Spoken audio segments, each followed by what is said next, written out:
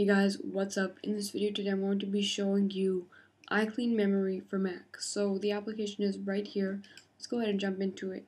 Uh, so it's already open. Um, over here, um, it's just a basic application that sits in your menu bar. Um, well, you have uh, these options. You have About iCleanMemory, and then you have Preferences. So let's go ahead and go over the preferences first.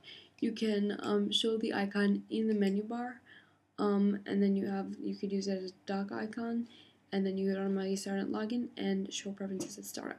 So um, right here I'm gonna just gonna go ahead and uh, quit out of iCleanMemory real quick. Uh, so then let's reopen it. And right here um, you have this little um, menu kind of thing.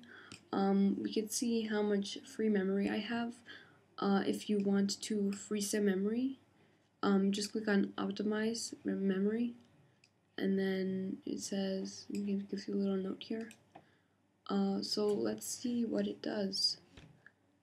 Um, it shouldn't take that long. So um, over here you can see that it's freed up um, or I don't really notice a difference.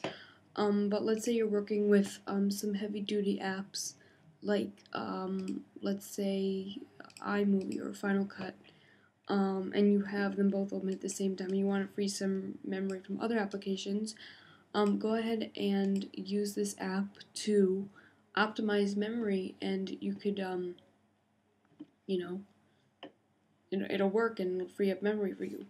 Uh, so that was iCleanMemory from the Mac App Store. This video helped you, go ahead and download the app um, from the Mac App Store. Again, it is only 99 cents.